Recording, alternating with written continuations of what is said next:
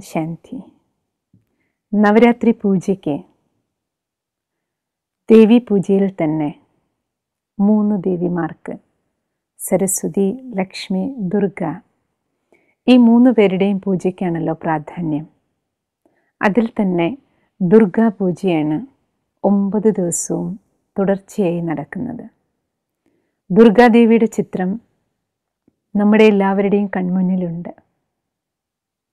എട്ട് കൈകളിലും ആയുധമേന്തിയ അലങ്കാരങ്ങളോടു കൂടിയ ദേവി. ദേവിയുടെ ഒരു കയ്യിൽ അസുരന്റെ അറുത്തെടുത്ത തല അതിൽ നിന്ന് രക്തം ഇറ്റിറ്റു വീഴുന്ന ചിത്രം. കാൽച്ചുവട്ടിൽ നോക്കിയാൽ അസുരന്മാരെ ചവിട്ടിപ്പിടിച്ച് നിൽക്കുന്ന രൂപം. ഇപ്രകാരം ഭയപ്പെടുത്തുന്നതാണ് ഈ അലങ്കാരങ്ങൾ എങ്കിലും. ദേവിയുടെ മുഖം നമ്മൾ നോക്കിക്കഴിഞ്ഞാൽ അപ്പോഴും പുഞ്ചിരിക്കുന്ന ആ ഫേസാണ് നമുക്ക് കാണുന്നത്. ആ പുഞ്ചിരിക്കുന്ന മുഖത്തിനാണ് നമ്മൾ പൂജ സമർപ്പിക്കുന്നത്. സാധാരണ രീതിയിൽ ഒരു കൊലയാളിയുടെ മുഖം നമ്മൾ നോക്കിക്കഴിഞ്ഞാൽ ഒരിക്കലും പുഞ്ചിരിക്കുന്നതല്ലല്ലോ. എത്ര ഭീകരമാണ് കടുത്തതാണ് ക്രൂരമായിരിക്കും മുഖം. അപ്പം ദേവിയുടെ പുഞ്ചിരിക്കുന്ന മുഖവും അതേപോലെ ഈ അസുരന്റെ അറുത്തെടുത്ത തലയും നമുക്ക് മനസ്സിലാക്കി തരുന്നത്. ഇത് തികച്ചും വ്യത്യസ്തമായ ഒരു കൊലയാണ്. ശരിക്കും പറഞ്ഞാൽ ഇത് കൊല്ലുക അല്ലെങ്കിൽ വധിക്കുക എന്നതിനേക്കാളെല്ലാം ഉപരി ആധ്യാത്മികമായ ഭാഷയിൽ പറഞ്ഞാൽ ഒരു സ്പിരിച്വൽ ട്രാൻസ്ഫോർമേഷനാണ് ഗ്രേറ്റ് ട്രാൻസ്ഫോർമേഷൻ വ്യക്തികളിൽ ഉണ്ടാകുക വ്യക്തികളുടെ ജീവിതങ്ങളിൽ ഉണ്ടാക്കുക എന്നുള്ളതാണ്. അപ്പോൾ ആ ഒരു സ്പിരിച്വൽ ഡെപ്താണ് നമുക്കവിടെ കാണാൻ കഴിയുന്നത്. ആത്മീയമായൊരു വധത്തെയാണ് അവിടെ ചിത്രീകരിക്കുന്നത് അതുകൊണ്ടാണ് ദേവി പുഞ്ചിരിക്കുന്നതായിട്ട് നമ്മൾ കാണുന്നത്. അതായത് ജീവിതത്തിൽ ഈ ട്രാൻസ്ഫോർമേഷൻ ഉണ്ടാകുമ്പോൾ പരിവർത്തനം ഉണ്ടാകുന്ന സമയത്ത് മാറ്റത്തെ പോസിറ്റീവായിട്ടുള്ള ചേഞ്ചാണത് അപ്പോൾ ആ പോസിറ്റീവ് ചേഞ്ചിനെ സന്തോഷത്തോടു കൂടി നമുക്ക് സ്വീകരിക്കാൻ കഴിയും. നമ്മുടെ പരിവർത്തനമാണെങ്കിലും മറ്റുള്ളവരുടെ ജീവിതത്തിൽ ഉണ്ടാകുന്ന പരിവർത്തനമാണെങ്കിലും അതുകൊണ്ടാണ് ദേവി ഉപയോഗിക്കുന്ന ആയുധങ്ങളെ ദിവ്യ ആയുധങ്ങളെന്നാ പറയാം. ദിവ്യ ആയുധം. സാധാരണ ഒരാളെ കൊല്ലാൻ ഉപയോഗിക്കുന്ന ആയുധങ്ങൾ അതൊരു കത്തിയാണ് ഉപയോഗിച്ചതെങ്കിലും മാരകായുധം എന്നാണ് നമ്മൾ പറയണം. ആ കത്തി ഉപയോഗിച്ച് നമ്മൾ വീട്ടിൽ പച്ചക്കറി മുറിക്കുകയാണെങ്കിൽ അതിനെ പണിയായുധം എന്നാണ് നമ്മൾ പറയുക അതേ കത്തി ഉപയോഗിച്ച് കാട് വെട്ടുകയാണെങ്കിൽ അത് ആ ജോലിക്കാരന് പണിയായുധമാണ്. ഒരു കത്തി ഒരു ഡോക്ടർ ഉപയോഗിച്ച് ഓപ്പറേഷൻ നടത്തുന്ന സമയത്ത് ഒരു ജീവൻ രക്ഷിക്കുന്ന ഉപകരണമായിട്ട് മാറുകയാണ് അവിടെ. ജീവൻ രക്ഷ ഉപാധിയാണ് അവിടെ. അപ്പം ദേവി ഉപയോഗിക്കുന്ന ദിവ്യായുധം എന്ന് കേൾക്കുമ്പോൾ തന്നെ നമ്മൾ മനസ്സിലാക്കേണ്ടത് എന്താണ്? ഈ ആയുധം ഉപയോഗിച്ച് ദേവിയുടെ കൈകളിൽ കാണുന്ന ഈ ആയുധം ഉപയോഗിച്ച് ദിവ്യമായ ഏതോ കർത്തവ്യമാണ് ചെയ്തിരിക്കുന്നത്. ഡിവൈൻ ആക്റ്റാണ് അവിടെ നടന്നിരിക്കുന്നത് ദിവ്യമായൊരു കർമ്മം അല്ലെങ്കിൽ ഒരു ക്രിയ അല്ലെങ്കിൽ കർത്തവ്യമാണ്.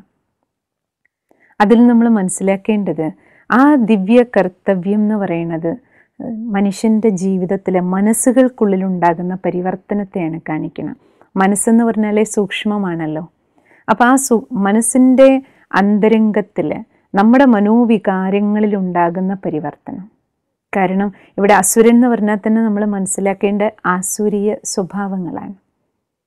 നമ്മുടെ ഉള്ളിലെ ഭയാകട്ടെ ആസക്തികളാകട്ടെ ആർത്തികളാകട്ടെ അസൂയയാകട്ടെ വെറുപ്പാകട്ടെ വിദ്വേഷാകട്ടെ ഏത് തരത്തിലുള്ള നെഗറ്റിവിറ്റിയാണോ ആ ആസുരീയ സ്വഭാവങ്ങളെ ഇല്ലാതാക്കാൻ നമുക്ക് വേണ്ട ദിവ്യായുധം എന്താണ്? ശക്തികളാണ്. ഭയം വരുമ്പോൾ തന്നെ നമ്മൾ പറയില്ലേ ശക്തി ഇല്ലാത്തത് കൊണ്ടാണ് നമുക്ക് ആ ഭയം ഉണ്ടാകുന്നത് ഉള്ളിൽ കരുത്തില്ലാത്തത് കൊണ്ടാണ്. ദേഷ്യം വരുന്ന അർത്ഥം എന്താണ്? സഹിക്കാനുള്ള ശക്തിയില്ല. ക്ഷമിക്കാനുള്ള ബലം നമ്മുടെ പക്കലില്ല. ശാന്തിയുടെ ശക്തിയില്ല. കാമാസക്തി എന്തുകൊണ്ടാണ് വരണത് നമ്മുടെ ഉള്ളിൽ പ്യൂരിറ്റിയുടെ ബലം ഇല്ലാത്തത് കൊണ്ടാണ്. പവിത്രതയുടെ ശക്തി ഇല്ലാത്തത് കൊണ്ടാണ്.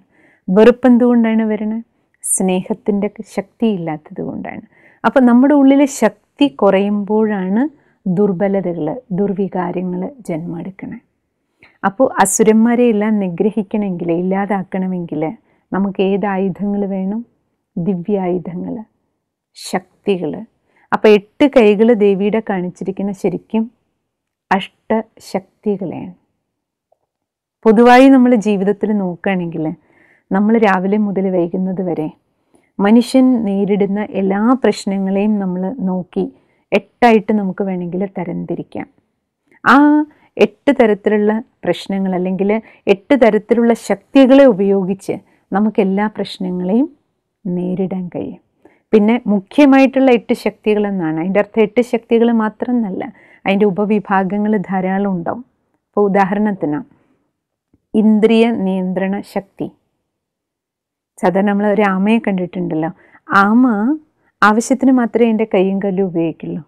ആവശ്യം കഴിഞ്ഞാൽ താനേ ഉൾവലിയും പക്ഷെ നമ്മൾ മനുഷ്യനാണെങ്കിലോ ആവശ്യമുണ്ടെങ്കിൽ ഇല്ലെങ്കിൽ എല്ലാം നമ്മുടെ ഇന്ദ്രിയങ്ങളെ വേണ്ടുന്നതിനും വേണ്ടാത്തതിനും എല്ലാം മെജോറിറ്റി മനുഷ്യന്റെ ഇന്ദ്രിയങ്ങൾ ചഞ്ചലമായിക്കൊണ്ടാണ് ഇരിക്കുന്നത് വേണ്ടാത്തടത്ത് നമ്മൾ സംസാരിക്കും. പറയാൻ പാടില്ലാത്തടത്ത് നമ്മൾ പറയും. ഇടപെടാൻ പാടില്ലാത്തടത്ത് ഇടപെടും. കഴിക്കാൻ പാടില്ലാത്തത് കഴിക്കും. കാണാൻ പാടില്ലാത്തത് കാണും കേൾക്കാൻ പാടില്ലാത്തത് കേൾക്കും. പറയാൻ പാടില്ലാത്ത വാക്കുകൾ നമ്മൾ പറയും. പെരുമാറാൻ പാടില്ലാത്തതുപോലെ നമ്മൾ പെരുമാറും വീട്ടിലാണെങ്കിലും പുറത്താണെങ്കിലും. അപ്പോൾ ചെയ്യാൻ പാടില്ലാത്തത് നമ്മൾ ചെയ്യുക. അതായത് ഇന്ദ്രിയങ്ങളുടെ മേലെ നമുക്ക് നിയന്ത്രണമില്ല. അപ്പം ജനിച്ച് വീഴുമ്പം മുതൽ നമ്മുടെ ജീവിതയാത്രയിൽ ആദ്യം മുതൽ അന്ത്യം വരെ നമുക്ക് നമ്മുടെ കർമ്മേന്ദ്രിയങ്ങളുടെ മേലെ കൺട്രോൾ വേണം. ആ ഇന്ദ്രിയ നിയന്ത്രണ ശക്തി ഇല്ല. അതിന്റെ അർത്ഥം എന്താ? ആത്മാവിൽ കരുത്തില്ല. കാരണം ആത്മാവാകുന്ന ഈ ഡ്രൈവറാണ് ഈ വണ്ടി ഓടിക്കേണ്ടത്. ഈ കണ്ണ് എന്ത് കാണണം കാണണ്ട എന്ന് തീരുമാനിക്കേണ്ടത് ഞാനാണ്. ആരാണ് ഞാൻ? ആത്മചൈതന്യം. ആത്മാവാകുന്ന ചൈതന്യം ആത്മാവിൽ ഡ്രൈവർക്ക് ബലമില്ലാത്തതുകൊണ്ട് ഈ വണ്ടി അതിന്റെ ഇഷ്ടത്തിന് പോവുക കണ്ണതിന്റെ ഇഷ്ടത്തിന് പോവുക കാതതിന്റെ ഇഷ്ടത്തിന് പോവുക അർത്ഥം എന്താണ്? വണ്ടി അൺകൺട്രോൾഡ് ആണ്. നമുക്ക് കൺട്രോൾഡ് ഡ്രൈവിങ്ങിലേക്ക് തിരിച്ചു വരണം. അതിനെന്ത് വേണം? പവർ വേണം ശക്തി. ഇന്ദ്രിയ നിയന്ത്രണത്തിനുള്ള ശക്തി വേണം. അതിന് ആത്മാവിന് പരമാത്മാവുമായിട്ട് കണക്ഷൻ വേണം. അതുകൊണ്ടാണ് ശക്തികളെ എപ്പോഴും ശിവശക്തികളായിട്ട് കാണിക്കുന്നത്. അപ്പം ശക്തി നമുക്ക് എവിടുന്നേ കിട്ടുള്ളൂ? ശിവൻ. ശിവനർത്ഥം സർവമംഗളകാരി. എല്ലാവർക്കും നന്മ ചെയ്യുന്ന ആൾ എല്ലാവർക്കും നന്മ ചെയ്യുന്നത് ആരാണ്? എല്ലാവർക്കും ശക്തി നൽകുന്നത് സർവശക്തിവാൻ പരംപൊരുൾ. ആ പരം ജ്യോതി പരമപ്രകാശം സർവ ആത്മാക്കളുടെയും പിതാവായ പരമാത്മാവിനെയാണ് ശിവൻ എന്ന് പറയുന്നത്. ആ ശിവൻ ജ്യോതി സ്വരൂപനായ പരമാത്മാവുമായിട്ട് കാരണം ആത്മാവിന് കണക്ഷൻ പരമാത്മാവുമായിട്ടാണ്. എങ്ങനെ നമുക്ക് ഈ ശരീരത്തിന് മാതാപിതാവുണ്ടോ? അതേപോലെ ആത്മാവിന്റെ അച്ഛനും അമ്മയുമാണ് പരമാത്മ.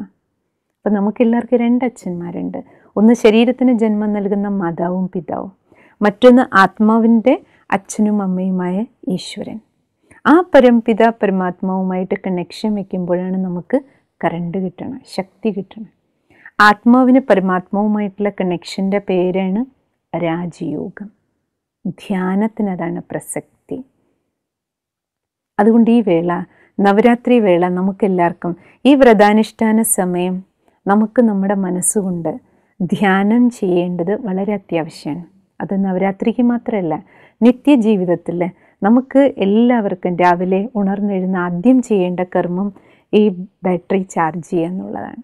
കാരണം ഡ്രൈവർക്ക് ശക്തിയില്ലാതെ ഈ വണ്ടിയുടെ മേലെ നമുക്ക് നിയന്ത്രണം കിട്ടില്ല. അതുകൊണ്ട് നമ്മൾ എല്ലാവരും മനസ്സിലാക്കേണ്ടേ രാവിലെയും വൈകുന്നേരവും പതിനഞ്ച് മിനിറ്റ് മുതൽ ഒരു അരമണിക്കൂർ സമയമെങ്കിലും നിത്യേന നമ്മൾ ഈ ബാറ്ററി റീചാർജ് ചെയ്യാൻ ഉപയോഗിക്കണം. എങ്കിൽ മാത്രമേ നമുക്ക് കൺട്രോൾ ഉണ്ടാകുള്ളൂ. അത് മാത്രമല്ല ഇന്ദ്രിയങ്ങളുടെ മേലെ നിയന്ത്രണം വേണം. ഇന്ദ്രിയ നിയന്ത്രണങ്ങളിലൂടെ നമുക്ക് മുന്നോട്ട് സഞ്ചരിക്കണമെങ്കിൽ നമുക്ക് തിരിച്ചറിയാനും കഴിയണം. അപ്പം നമുക്കുള്ള മുന്നിലൊരു ഭക്ഷണ പദാർത്ഥം തന്നെ നമ്മുടെ മുന്നിൽ വന്നിരിക്കുക അപ്പം എനിക്ക് ഷുഗർ ഉള്ള ഒരാളാണ്. അപ്പം ഞാനിത് കഴിക്കണോ വേണ്ടയോ? എനിക്ക് കഴിക്കാൻ പാടുള്ളതാണോ ഇല്ലയോ? തിരിച്ചറിയാൻ ശക്തി വേണം നമുക്ക്. സത്യമേത് മിഥ്യേത് ശരിയേത് തെറ്റേത് ചെയ്യാൻ പാടുണ്ടോ ചെയ്യാൻ പാടില്ലാത്തതാണോ? ആ തിരിച്ചറിയാനുള്ള ശക്തി ഏറ്റവും പ്രധാനമാണ്. അപ്പം തിരിച്ചറിയാൻ എത്രത്തോളം നമുക്ക് ശക്തിയുണ്ടോ അത്രത്തോളമേ നമുക്ക് നല്ല തീരുമാനം എടുക്കാനും പറ്റുള്ളൂ ജീവിതത്തിൽ ഉറച്ച തീരുമാനങ്ങൾ ഭാവിയിലേക്ക് വേണ്ടുന്ന ശ്രേഷ്ഠമായ തീരുമാനങ്ങൾ എടുക്കാൻ കഴിയും. അപ്പം ഇന്ദ്രിയ നിയന്ത്രണ ശക്തി പോലെ തിരിച്ചറിയാനുള്ള ശക്തി നല്ല തീരുമാനം എടുക്കാനുള്ള ശക്തി. നല്ല തീരുമാനങ്ങൾ ജീവിതത്തിൽ എടുക്കുമ്പോഴാണ് നമ്മളിൽ നിന്ന് നല്ല കർമ്മങ്ങൾ ഉണ്ടാകുന്നത് ശ്രേഷ്ഠ കർമ്മം. ശ്രേഷ്ഠ കർമ്മത്തിന്റെ വിത്തുകൾ പാകുമ്പോഴാണ് നമ്മുടെ ഭാവിയും ശ്രേഷ്ഠമായിട്ട് മാറണം. ഇപ്രകാരം നമ്മൾ നോക്കിയ ജീവിതയാത്രയിലുടനീളം ഈ ശക്തികളുടെ ആവശ്യമാണുള്ളത്. ശക്തികൾ ശരിക്കും പറഞ്ഞാൽ വാളും പരിചയം പോലെയാണ് നമ്മുടെ ജീവിതത്തിലെ ഗുണങ്ങളും ശക്തികളും. അല്ലേ? ഇപ്പോൾ ഒരു കുടുംബത്തിൽ തന്നെ നോക്കൂ. നമ്മളൊരു വീട്ടിലിരിക്കുമ്പോൾ പലതരത്തിലുള്ള സ്വഭാവക്കാരാ. അച്ഛൻ ഹസ്ബൻഡ് ഒരു സ്വഭാവം വൈഫ് ഒരു സ്വഭാവം മക്കൾ മറ്റൊരു സ്വഭാവം. രണ്ട് മക്കളുണ്ടെങ്കിൽ തന്നെ രണ്ട് തരത്തിലായിരിക്കും. അപ്പോൾ നമ്മളൊരു കുടുംബത്തിൽ ജീവിച്ച് പോകണമെങ്കിൽ ഒരു വീട്ടമ്മയായിട്ടോ അല്ലെങ്കിൽ ഒരു ഗൃഹനാഥനായിട്ടോ നമ്മളൊരു കുടുംബത്തിൽ ഇരിക്കണമെങ്കിൽ നമുക്ക് എല്ലാവരുടെ കൂടെയും ചേർന്ന് പോകണം എല്ലാവരെയും ചേർത്ത് കൊണ്ടുപോകണം അപ്പോൾ എന്ത് വേണം? നമുക്ക് ഉൾക്കൊള്ളാൻ പറ്റണം എല്ലാവരെയും. എങ്ങനെയാണ് ഒരു കടൽ അതിലേക്ക് ഒഴുകിച്ചേരുന്ന വെള്ളം പല ഭാഗത്തു നിന്നാണ് വരുന്നത് പല തരത്തിലുള്ള വെള്ളമാണ് ഒഴുകി വരുന്നത് പല സ്ഥലങ്ങളിൽ നിന്ന് നല്ലതും കെട്ടതും അരുവിയും തോടുമ്പോൾ കനാലും എല്ലാം. പക്ഷെ കടൽ അതിവിശാലമായതുകൊണ്ട് അതിനെ ഉൾക്കൊള്ളാൻ പറ്റുന്നുണ്ട് അതുപോലെ നമുക്കും ജീവിതത്തിൽ എല്ലാവരെയും ഉൾക്കൊള്ളാനുള്ള ഒരു വിശാലമായ മനസ്സ് വേണം. അപ്പോഴേ അയൽക്കാരെ ആണെങ്കിലും ജോലി സ്ഥലത്താണെങ്കിലും പല നമുക്ക് ഇഷ്ടപ്പെട്ടവരും ഇഷ്ടപ്പെടാത്തവരും ഒക്കെ ഉണ്ടാവും. നമുക്ക് അനുകൂലവുമായി പ്രതികൂലവുമായി എല്ലാം പ്രവർത്തിക്കുന്നവരും പെരുമാറുന്നവരും ഉണ്ടാവും. പക്ഷെ നമ്മളൊരു കുടുംബത്തിൽ അല്ലെങ്കിൽ ഒരു സമൂഹത്തിൽ ജീവിക്കുമ്പോൾ ഒരു സംഘടനയിൽ നമുക്ക് പ്രവർത്തിക്കണമെങ്കിൽ എല്ലാവരെയും ഉൾക്കൊള്ളാനുള്ള ഒരു മനസ്സ് വേണം. അല്ലാതെ എന്റെ ജാതിയെ നല്ലത് എന്റെ ഭാഷയെ നല്ലത് അല്ലെങ്കിൽ എന്റെ മതം നല്ലത് എന്റെ പാർട്ടി മാത്രം നല്ലത്. ഇപ്രകാരം നമ്മൾ ആ ഇടുങ്ങിയ മനസ്സിന്റെ ഉള്ളിൽ വരുമ്പോഴാണ് നമുക്ക് ബാക്കി എല്ലാവരോടും വെറുപ്പും വിദ്വേഷവും നിങ്ങളൊന്നും ശരിയല്ല അല്ലെ ഇതൊന്നും ശരിയല്ല ഞാൻ മാത്രമാണ് ശരിയല്ല എന്റെ മാത്രമാണ് ശരി അങ്ങനെ ഒരു മനസ്സ് നമുക്കതുകൊണ്ടാണ് സംഭവിക്കുന്നത്. അപ്പോൾ നമ്മുടെ പ്രവൃത്തിയും ശത്രുതയും വൈരാഗ്യവും വെറുപ്പും പ്രതികാരവും ഒക്കെ കൂടും. ഇങ്ങനെയുള്ള സാഹചര്യങ്ങളിൽ നമുക്ക് ആ ഒരു എല്ലാവരെയും ഉൾക്കൊള്ളാൻ എല്ലാവരുമായി അഡ്ജസ്റ്റ് ചെയ്ത് പോകാൻ ഉള്ള ശക്തി. ഉൾക്കൊള്ളാനും ശക്തി വേണം. അഡ്ജസ്റ്റ് ചെയ്യാനും ശക്തി വേണം. ജീവിതത്തിൽ ഏതൊരു സാഹചര്യം കടന്നു വരുമ്പോഴും നേരിടാൻ. ഇപ്പോൾ മരണം പോലെ ഒരു സാഹചര്യമാണെങ്കിൽ നമുക്ക് നമ്മുടെ മരണമാകട്ടെ? അല്ലെങ്കിൽ നമ്മുടെ കൂടെയുള്ള ആരെങ്കിലും നമുക്ക് വേർപെട്ട് പോയാൽ? ഇപ്പോൾ ഒരാൾ മരിച്ചു നമ്മുടെ ഇപ്പോൾ ഒരു ഹസ്ബൻഡ് വൈഫ് അതിൽ ഒരാൾ മരിച്ചു എന്നിരിക്കട്ടെ. ഒന്നിലെ വൈഫ് മരിച്ചു അല്ലെങ്കിൽ ഹസ്ബൻഡ് മരിച്ചു. അടുത്ത ആളുടെ ജീവിതം എന്താ? മരണത്തെ നമുക്ക് ആർക്കും അറിയാം? അറിയാം തടയാൻ പറ്റില്ല. ആർക്കെപ്പോൾ ടിക്കറ്റ് വരണോ? നമുക്ക് പോകണം പക്ഷെ ഒരാളുടെ ജീവിതം പോയി അവരുടെ ജീവൻ പോയി. പക്ഷെ അത് കാരണം നമ്മുടെ ജീവിതം പോകരുത്. കാരണം ബാക്കിയുള്ള യാത്ര നമുക്ക് മുന്നോട്ട് ചെയ്യണം. അപ്പം അച്ഛൻ പോയി അല്ലെങ്കിൽ അമ്മ പോയി ഒരാൾ പോയി. അപ്പോൾ ബാക്കിയുള്ള ഒരാൾക്ക് ഹസ്ബൻഡ് അല്ലെങ്കിൽ വൈഫ് അവശേഷിക്കുന്ന ആൾക്ക് അവശേഷിക്കുന്ന കാര്യങ്ങൾ കൂടുതൽ നല്ല രീതിയിൽ ആ ഒരാളും കൂടി ചെയ്യേണ്ട കാര്യം നമുക്ക് ചെയ്യണം. അപ്പോൾ നമുക്ക് എക്സ്ട്രാ ആണ് വർക്ക് ചെയ്യേണ്ടത്. വർക്ക് ലോഡ് കൂടാണ്. വർക്ക് ലോഡ് കൂടുമ്പോൾ നമുക്ക് പവർ കൂടുതലാണ് വേണ്ടത്. എന്റെ ഇന്നാൾ പോയേ മരിച്ചേ എന്ന് വിചാരിച്ച് നമ്മൾ ജീവിതകാലം മുഴുവൻ ദുഃഖിച്ച് വേദനിച്ചിരിക്കുകയാണെങ്കിലോ നമുക്ക് നമ്മളിൽ നിക്ഷിപ്തമായ അല്ലെങ്കിൽ നമ്മളെ ഏൽപ്പിച്ചിട്ട് പോയ കർമ്മങ്ങളും കൂടെ നമുക്ക് പൂർത്തിയാക്കണ്ടേ? അവിടെയാണ് നമുക്ക് ശക്തി നേരിടാനുള്ള ശക്തി. ആ സാഹചര്യത്തെ ഉൾക്കൊണ്ട് നല്ല തീരുമാനം ജീവിതത്തിലെടുത്ത് നമുക്ക് ആ ഘട്ടം ജീവിതത്തിൽ വന്ന ആ ഘട്ടത്തെ നേരിടാനുള്ള ശക്തി വേണം. അപ്പോൾ ഈ ശക്തികളെല്ലാം നമ്മൾ നോക്കുകയാണെങ്കിൽ അത് തിരിച്ചറിയാനാകട്ടെ തീരുമാനം എടുക്കാനാകട്ടെ അഡ്ജസ്റ്റ് ചെയ്യാനാകട്ടെ ഈ ശക്തികളെല്ലാം നമുക്ക് നമ്മുടെ ഉള്ളിൽ നിന്ന് പുറത്തേക്ക് വരേണ്ടതാണ്. ശക്തികളൊന്നും പുറത്തുനിന്ന് വെളിയിലെ പുറത്തുനിന്ന് നമുക്ക് ഉള്ളിലേക്ക് വരില്ല. അതുകൊണ്ടാണ് നോക്കൂ ദുർഗാദേവിക്ക് എട്ട് കൈകൾ ശരീരത്തിൽ കാണിക്കുമ്പോൾ നമ്മൾ മനസ്സിലാക്കേണ്ട നമ്മുടെ ഉള്ളിൽ നിന്ന് പുറത്തേക്ക് ആ ശക്തികൾ വികാസ് ശക്തികളുടെ വികാസം നമ്മുടെ ഉള്ളിൽ നിന്ന് ആന്തരികമായ ശക്തികളുടെ വികാസം പുറത്ത് നമ്മുടെ ആക്ഷനിലേക്കാണ് വരേണ്ടതെന്ന് കാണിക്കുക. അല്ലെങ്കിൽ എന്ത് സംഭവിക്കും? ശക്തികളില്ലെങ്കിൽ എന്ത് ചെയ്യും? ആക്ട് ചെയ്യുന്നതിന് പകരം നമ്മൾക്ക് റിയാക്ട് ചെയ്യുന്നവരായിട്ട് മാറും ജീവിതത്തിൽ. സഹിക്കാൻ പറ്റിയില്ലെങ്കിൽ പൊട്ടിത്തെറിക്കും. അപ്പം നോക്കൂ ചിലപ്പോൾ നമ്മുടെ ജീവിതത്തിൽ നമുക്കറിയാം നമ്മുടെ തന്നെ മരത്തണലിൽ ജീവിച്ച് വളർന്നു വന്ന നമ്മുടെ മക്കൾ അല്ലെങ്കിൽ ചിലപ്പോൾ നമ്മുടെ മരുമക്കളായിരിക്കും നമ്മൾ പ്രതീക്ഷിക്കുന്നതിന് വിരുദ്ധമായിട്ട് നമ്മളോട് പെരുമാറുക. നമ്മൾ ഒരു മരം പോലെ തണൽ കൊടുത്ത് അല്ലെങ്കിൽ ഒരു മരത്തുനിന്ന് പഴങ്ങൾ പോലെ മാധുര്യം കൊടുത്ത് ജീവിച്ചു. പക്ഷേ നമ്മളാകുന്ന മരത്തിന് തന്നെ അവർ കല്ലേറ് നടത്തുന്നിരിക്കട്ടെ. നമ്മളെ തന്നെ ഉപദ്രവിക്കുക. അങ്ങനെ നമ്മൾ എവിടെയെല്ലാമാണ് കാണുന്നത് അത് ചില ഓഫീസുകളിലാണെങ്കിലും സംഘടനകളിലാണെങ്കിലും നമ്മൾ കഷ്ടപ്പെട്ട് പ്രയത്നിച്ച് ജീവിതകാലം മുഴുവൻ അധ്വാനിച്ച് നമ്മുടെ വിയർപ്പൊഴുക്കി നമ്മുടെ ആത്മാർത്ഥമായ പ്രയത്നം നൽകിയിട്ടും ചില സ്ഥലത്ത് സ്ഥലങ്ങളിൽ നമുക്ക് തിക്തമായ അനുഭവങ്ങൾ ചിലപ്പോൾ ഉണ്ടാവും. ഇങ്ങനെയുള്ള സാഹചര്യങ്ങളൊക്കെ ജീവിതത്തിൽ കടന്നു വരുമ്പോൾ നമുക്കത് സഹിക്കാനുള്ള കരുത്ത് ആ സാഹചര്യത്തെ സഹിക്കാനും അതിനെ ഉൾക്കൊള്ളാനും അതിനെ നേരിടാനും മുന്നോട്ടുള്ള നമ്മുടെ ജീവിതയാത്രയിൽ നല്ല തീരുമാനങ്ങളെടുത്ത് മുന്നോട്ട് സ്റ്റെപ്പ് വെച്ച് പോകാനും നമുക്ക് കഴിയണം. കാരണം നമ്മൾ അവിടെ റിയാക്റ്റ് ചെയ്യുന്നതിന് പകരം നമുക്ക് ആക്ട് ചെയ്യാണ് വേണ്ടത്. പൊട്ടിത്തെറിക്കുകയോ ബഹളം ഉണ്ടാക്കുകയോ ചെയ്യുന്നത് കൊണ്ട് നമുക്ക് ഒരു കാര്യത്തിനും പരിഹാരം ഉണ്ടാവില്ലേ. നമുക്ക് വേണ്ടത് ഒരു സമസ്യ വന്നാൽ അതിനൊരു സമാധാനമാണ് പരിഹാരമാണ്. നമ്മൊരു സമസ്യ വന്നു ഒരു സിറ്റുവേഷൻ വന്നു ഇപ്പോൾ ഒരു അനീതി തന്നെ നമുക്കെതിരെ നടന്നു എന്നിരിക്കട്ടെ അവിടെ നമ്മൾ കുറേ പൊട്ടിത്തെറിച്ചത് കൊണ്ട് നമുക്ക് സമ അതിനുള്ള പരിഹാരം കിട്ടില്ല. പരിഹാരത്തിന് വേണ്ടി ഞാൻ എന്താ ചെയ്യേണ്ടത്? അപ്പോൾ നമ്മുടെ മനസ്സ് ക്ലിയർ ആയിരിക്കണം. മനസ്സിൽ ക്ലാരിറ്റി ഉണ്ടെങ്കിൽ നമുക്കത് ശരിയായിട്ട് തിരിച്ചറിയാൻ പറ്റൂ. ഉള്ളിൽ ക്ലീൻ ആയിരിക്കണേ നമ്മുടെ ഉള്ളിൽ പ്യൂരിറ്റിയുടെ ബലം വേണം. പവിത്രതയുടെ ബലം വേണം. കാര്യത്തെ വിവേചിച്ചറിയാൻ നോളജ് വേണം. അറിവ് ബലമാണ്. പ്യൂരിറ്റി നമ്മുടെ ബലമാണ്. ആ ബലമാണ് ശക്തിയാണ് നമുക്കവിടെ ഉപകാരപ്പെടുന്നത്. അപ്പോൾ സഹിക്കാനും നമുക്ക് ശക്തി കിട്ടും. ഉൾക്കൊള്ളാനും നമുക്ക് ശക്തി കിട്ടും. അപ്പം ഇപ്രകാരം ശക്തികളെ നമുക്ക് കാര്യങ്ങളിൽ ഉപയോഗിക്കണം. സമയത്ത് ഉപയോഗപ്പെടണം. സമയത്ത് ഓരോ കൈയും പുറത്തേക്ക് വരണം. അതാണ് ദുർഗാദേവിയുടെ ചിത്രത്തിൽ നമ്മൾ കാണുന്നത്. സമയത്ത്. സമയം കഴിഞ്ഞിട്ട് ഓർമ്മ വന്നിട്ട് കാര്യമില്ലല്ലോ. ഒരു വണ്ടിയിൽ തന്നെ പോവാണ്. ഒരാൾ കുറുകെ ചാടി നമ്മൾ വണ്ടി സെക്കൻഡിൽ ബ്രേക്ക് ഔട്ടണം. വണ്ടി പോയി ആളെ ഇടിച്ചതിന് ശേഷം നമുക്ക് അയ്യോ ഞാൻ ബ്രേക്ക് ഔട്ട് ചെയ്യാൻ മതിയായിരുന്നു അവർ രക്ഷപ്പെട്ടിട്ടുണ്ടാവും എന്ന് ചിന്തിച്ചിട്ട് കാര്യമില്ലല്ലോ. ഇപ്രകാരം നമ്മുടെ ജീവിതത്തിലും പല സ്ഥലങ്ങളിലും സെക്കൻഡിൽ ബ്രേക്ക് ഇടേണ്ടി വരും. എങ്കിലേ നമ്മുടെ ബന്ധങ്ങൾ കേടുവരാതിരിക്കുള്ളൂ. അപ്പോൾ ഹസ്ബൻഡ് വൈഫും തമ്മിലുള്ള യാത്രയിലാണെങ്കിലും മക്കളോടൊപ്പമാണെങ്കിലും മരുമക്കളോടൊപ്പമാണെങ്കിലും നമ്മുടെ ഓഫീസുകളിലാണെങ്കിലും നമുക്ക് അറ്റൻഷൻ വെക്കേണ്ടത് സമയത്ത് ശക്തികളെ കാര്യങ്ങളിൽ ഉപയോഗിക്കണം. അപ്പോൾ സമയത്ത് ശക്തികളെ ഉപയോഗിക്കുക അർത്ഥം എന്താണ്? ശരിക്കും പറഞ്ഞാൽ ശക്തികൾ അവിടെ ഒരു പരിച പോലെ നമ്മളെ തടയും. നമ്മുടെ അടുത്തേക്ക് വരുന്ന വെട്ടുകൾ സാധാരണ ഒരു യോദ്ധാവിന്റെ കയ്യിൽ നമ്മൾ കണ്ടിട്ടില്ലേ? വാളും പരിചയം ഉണ്ടാവും അപ്പം ശരിക്കും ജീവിതയാത്രയിൽ നമ്മൾ നോക്കിയ ഗുണങ്ങൾ നമുക്ക് വാൾ പോലെയാണ്. നമ്മുടെ കർമ്മങ്ങളിൽ കാണപ്പെടേണ്ടത് ഗുണങ്ങളാണ്. നമുക്ക് മറ്റ് അസുരന്മാരിൽ നിന്ന് അസുരീയ സ്വഭാവങ്ങളുടെ വെട്ട് നമ്മുടെ മേലെ ഏൽക്കാതിരിക്കണമെങ്കിൽ നമ്മുടെ പക്കൽ ഈ ശക്തികളുടെ കവചം ഉണ്ടാകണം. ഇല്ലെങ്കിൽ നമ്മൾ എന്ത് ചെയ്യും?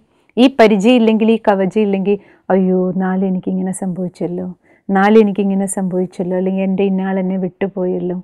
ജീവിതം മുഴുവൻ ദുഃഖിച്ചും വേദനിച്ചും നിരാശയിൽ പോയും നമ്മുടെ അവശേഷിക്കുന്ന ശക്തികളും കൂടെ നമ്മൾ നഷ്ടപ്പെടുത്തിക്കളയും ചോർത്തിക്കളയും. അതുകൊണ്ട് ഈ നവരാത്രിക്ക് നമുക്ക് എല്ലാവർക്കും ഉണരേണ്ടത് നമുക്കുണർന്ന് ചിന്തിക്കേണ്ടത് നമുക്ക് ഓരോരുത്തർക്കും നമ്മുടെ അമ്മയെ പോലെ നമ്മൾ ദുർഗാദേവി അമ്മയെന്നല്ലേ വിളിക്കുന്നത് അപ്പോൾ അമ്മയെ പോലെയുള്ള ഗുണം നമ്മൾ മക്കളിലേക്ക് വരണം. അമ്മയിലുള്ള ശക്തി അമ്മ എങ്ങനെ അസുരന്മാരെ നിഗ്രഹിച്ചു അസുരീയ സ്വഭാവങ്ങളുടെ മേലെ വിജയം നേടിയോ? ഇവിടെ നമുക്ക് വധിക്കുക അർത്ഥം വിജയം നേടണം.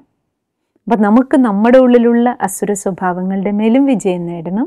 ഒപ്പം മറ്റസുര സ്വഭാവങ്ങൾ നമ്മുടെ നേരെ വരുന്ന സമയത്ത് പ്രത്യേകിച്ചും ഈ കലിയുഗത്തിന്റെ ലാസ്റ്റ് സമയത്തിലൂടെ നമ്മൾ കടന്നു പോകുമ്പോൾ ഏറ്റവും കൂടുതൽ തമോ പ്രധാന സ്വഭാവങ്ങൾ ശീലങ്ങൾ നമുക്ക് എല്ലാവരുടെ അടുത്തു നിന്നും ചിലപ്പോൾ ഫേസ് ചെയ്യേണ്ടി വരും. സ്വന്തം ഭവനത്തിലുണ്ടാവും യാത്രക്കിടയിലും ഉണ്ടാവും. നമ്മൾ ജോലി ചെയ്യുന്ന ഓഫീസുകളിലും ഉണ്ടാവും. പലതരത്തിലുള്ള അസുര സ്വഭാവങ്ങൾ നമുക്ക് നേരെ വരുമ്പോൾ നമുക്ക് അവയെല്ലാം തടയാൻ ഈ പരിചയം നമ്മുടെ കയ്യിലുണ്ടായിരിക്കണം. അഷ്ടശക്തികൾ. ഈ ശക്തികളെ നമുക്ക് സമയത്ത് കാര്യങ്ങളിൽ ഉപയോഗിക്കാൻ കഴിയണമെന്നുണ്ടെങ്കിൽ അഭ്യാസം വേണം.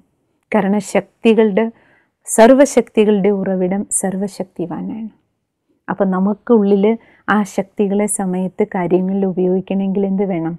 ധ്യാനം മെഡിറ്റേഷൻ ചെയ്യുന്നത് നമ്മുടെ ശീലമാക്കി നമുക്ക് മാറ്റണം. അതുകൊണ്ടാണ് എപ്പോഴും പറയുന്നത് ശക്തി ശിവനിൽ നിന്ന് ശക്തി വന്നു എന്നാണ്. ശിവശക്തികളായിട്ടാണ് കാണിക്കുന്നത് അപ്പോൾ സർവശക്തിവാനിന്ന് ശക്തി എടുക്കുന്നതാണ് ധ്യാനം. അതിനെയാണ് രാജയോഗ ധ്യാനം എന്ന് പറയുന്നത് അതുകൊണ്ട് ഈ നവരാത്രി വേളയിൽ നമുക്കെല്ലാവർക്കും ഒരു നല്ല വ്രതം എടുക്കാം. ധ്യാനം പരിശീലിക്കൂ. മെഡിറ്റേഷൻ പരിശീലിക്കൂ. നമ്മുടെ തന്നെ ഉള്ളിലുള്ള ശക്തികളെ നമ്മുടെ അലങ്കാരമാക്കി മാറ്റൂ. അതാണ് ജീവിതത്തിൽ ഏറ്റവും വലിയ സൗന്ദര്യമായിട്ട് മാറുക. ദേവിക്ക് അലങ്കാരങ്ങൾ ചേർക്കാൻ അലങ്കാരങ്ങൾ അണിയിക്കാൻ നമ്മൾ കേൾക്കുമ്പോൾ നമ്മൾ പോയി നോക്കുമ്പോൾ അലങ്കാരങ്ങൾ എന്താണ് കാണണേ? ഓരോ കയ്യിൽ ഓരോ ആയുധങ്ങളെയല്ലേ അലങ്കാരമായിട്ട് കൊടുത്തിരിക്കണം? അപ്പോൾ ആയുധങ്ങൾ അലങ്കാരമാകുക എന്ന് പറഞ്ഞാൽ തന്നെ എന്താ അർത്ഥം? ശക്തികളാണ് ജീവിതത്തിൽ നമ്മുടെ ഏറ്റവും വലിയ അലങ്കാരം മനോഹാരിത. ഈ ശക്തികളുണ്ടെങ്കിൽ മാത്രമേ ജീവിത വിജയം നമുക്കെല്ലാവർക്കും കരസ്ഥമാക്കാൻ കഴിയും. അതുകൊണ്ട് ഈ നവരാത്രി നമുക്കൊരു പുതുമയുള്ള നവരാത്രി എന്നല്ലേ? നവം എന്ന് പറഞ്ഞാൽ തന്നെ എന്താ അർത്ഥം? പുതുമ. അപ്പം ജീവിതത്തിലൊരു പുതുമ കൊണ്ടുവരണ്ടേ? അപ്പം ജീവിതത്തിലൊരു പുതുമ എന്നതുപോലെ നമ്മളൊരു വ്രതം എടുക്കൂ ധ്യാനം പരിശീലിക്കാൻ. ആ പരിശീലിച്ചാൽ മാത്രം പോരാ. നമുക്ക് നിത്യേനയുള്ള അഭ്യാസം വേണം പ്രാക്ടീസ് വേണം.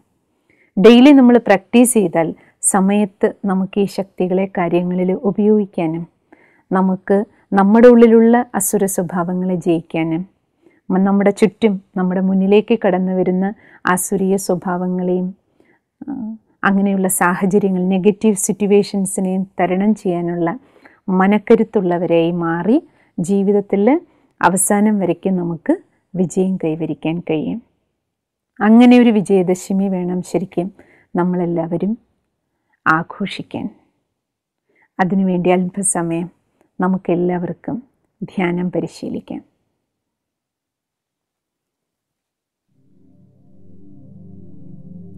മനസ്സിലെ ശ്രേഷ്ഠ സങ്കല്പങ്ങൾ കൊണ്ടുവരൂ.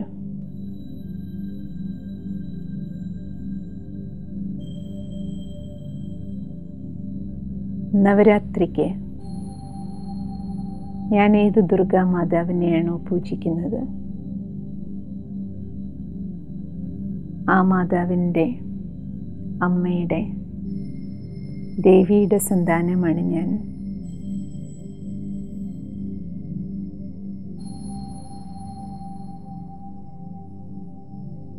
അമ്മയുടെ കുട്ടിയായി എനിക്കും അമ്മയെപ്പോലെയായി തീരണം അമ്മയുടെ അലങ്കാരങ്ങൾ ദിവ്യായുധങ്ങളാണ്. ദിവ്യമായ ശക്തികളാണ്. സഹിക്കാനുള്ള ശക്തി. തിരിച്ചറിയാനുള്ള ശക്തി. ഉൾക്കൊള്ളാനുള്ള ശക്തി.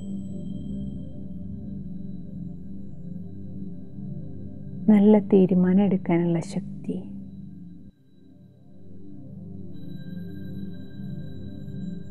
എല്ലാവരോടൊപ്പം സഹകരിച്ചു പോകാനുള്ള ശക്തി. എല്ലാം നേരിടാനുള്ള ശക്തി. സ്വന്തം കർമ്മേന്ദ്രിയങ്ങളുടെ മേൽ നിയന്ത്രണത്തോടുകൂടി ജീവിക്കാനുള്ള ശക്തി.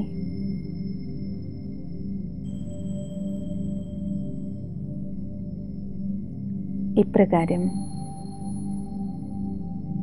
ശക്തികളാകുന്ന എട്ട് കൈകൾ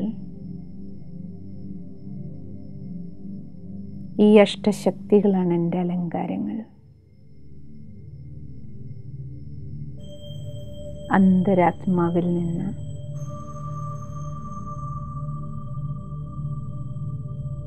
പുറത്തേക്ക് ഒഴുകുന്ന ഊർജം ശക്തികളുടേതാണ്.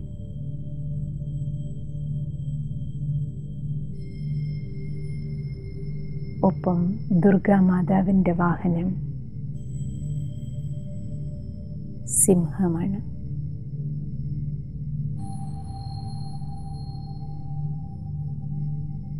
കാട്ടിലെ രാജാവായ സിംഹത്തിന് മുകളിൽ സഞ്ചരിക്കുന്ന മാതാവ് സിംഹിണി ശക്തിയാണ്. രാജ പവറിനെ കാണിക്കുകയാണ്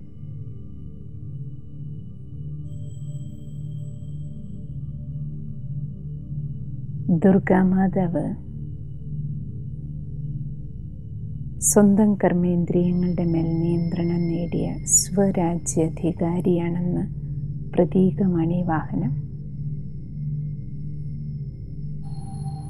ശരീരമാണ് എന്റെ രാജ്യം. ഈ രാജ്യത്തിലെ പ്രജകളാണ് കർമ്മേന്ദ്രിയങ്ങൾ. കണ്ണും കാതും നാവും. സർവ കർമ്മേന്ദ്രിയങ്ങളുടെയും ജ്ഞാനേന്ദ്രിയങ്ങളുടെയും മേൽ നിയന്ത്രണമുള്ള ഒരു ജീവിതമാണ് എനിക്ക് ജീവിക്കേണ്ടത്. അതിന് ശക്തികളാണ് ഏറ്റവും പ്രധാനം. ശക്തിയുടെ ഉറവിടം. സർവശക്തിവാനാണ്. എനിക്ക് അച്ഛനും അമ്മയും സർവസ്വവുമായ ആ പരമ്പുരൾ